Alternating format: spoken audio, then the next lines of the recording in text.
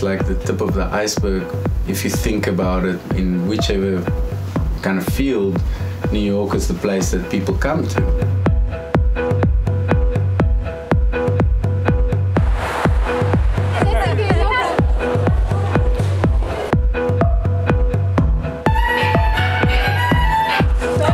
You look around the city and you're just like, why am I here again? I don't really understand.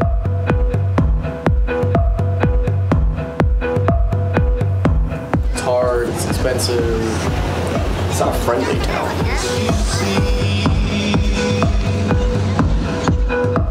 You somehow have more opportunity here, and the, so it's like more difficult, but you have more opportunity.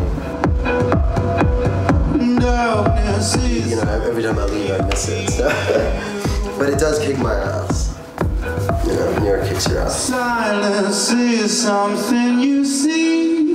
Never ever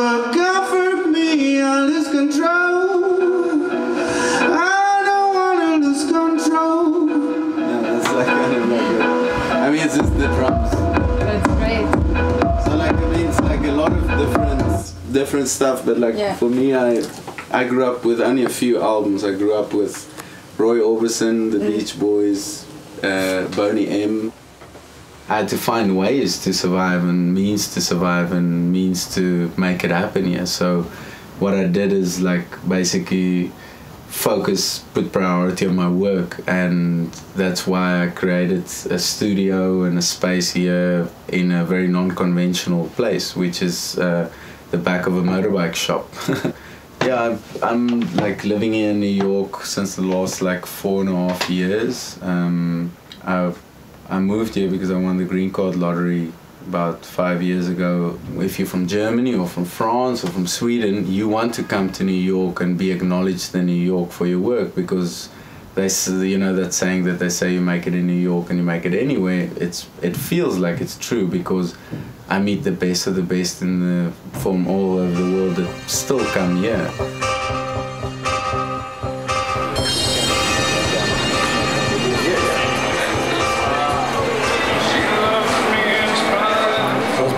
Was born in Cuba. Um, and I came over when I was a small child, 16 months old. I grew up in Florida. We did come over on a boat in the 80s during the Mariel boat lift thing, I guess my whole my whole family came over.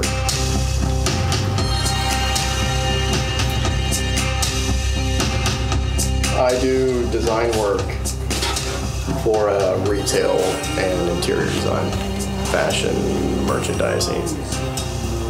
Totally different. so totally different from this. it's like suit and tie, going to work. Completely different but somehow it balances itself out. But yeah. doing the fashion stuff and then having to come here and do all this.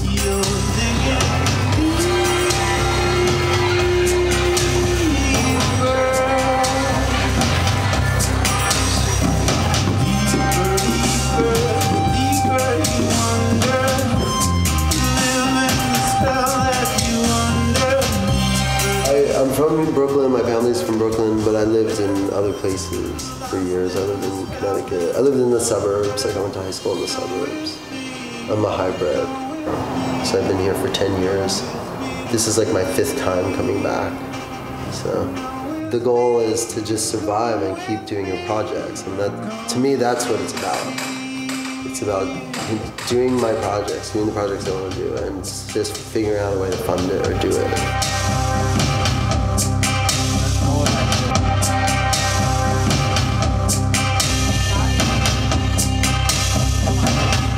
My old man was a mechanic in Cuba. He was a mechanic here in the U.S. when he got here, and he had nothing but old American cars all growing up. So I was kind of surrounded by it. I went to the Cooper Union here in the East Village. It's an art school. Studied uh, fine art, sculpture, photography. Well, still sculpturing, right? Same shit, different day, I guess. different kind of sculpture, I guess you.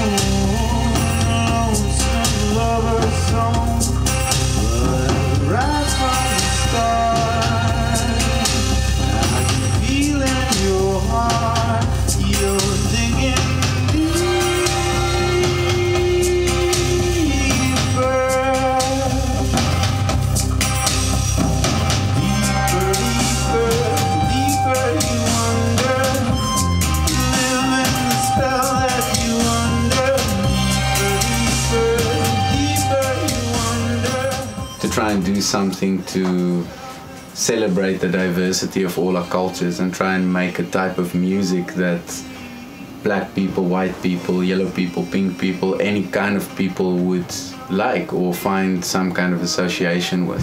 When you're really creatively your best is when you're challenged the most. And um, that's also when, as a person, you grow the most. That's when you have big challenges in your life and you turn obstacles into opportunities. The thing is, that's always been my approach to creativity and to create stuff is to be able to create something from nothing.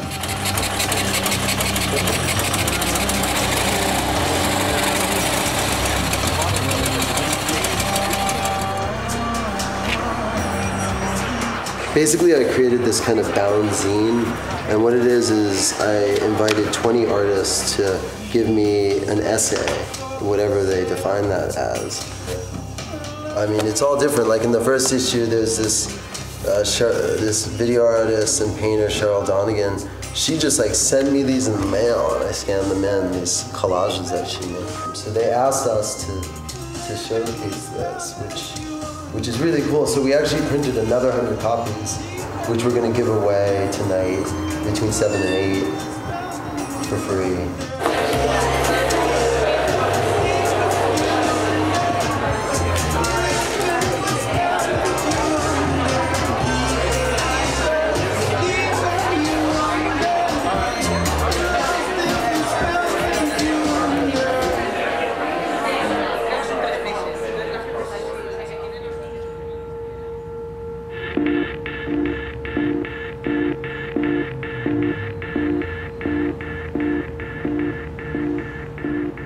Time that I was here in New York, I um, tried to figure out, okay, shit, I need to make some extra cash where I can to survive, you know. So then we were like, okay, let's start a party, you know. So we decided we're gonna start this party called the Happy Show.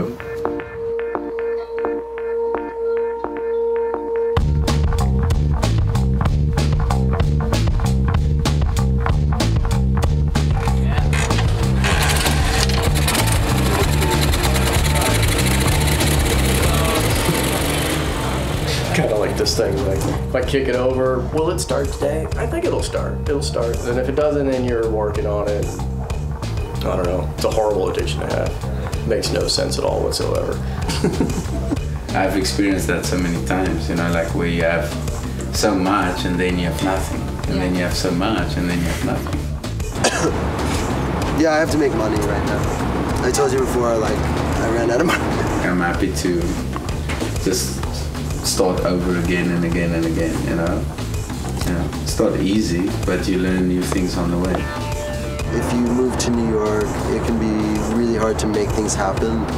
But if you take time and stay here and things things may happen.